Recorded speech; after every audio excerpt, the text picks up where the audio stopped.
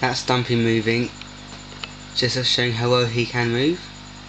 And I'll put him back now because he's getting a bit upset. Yeah.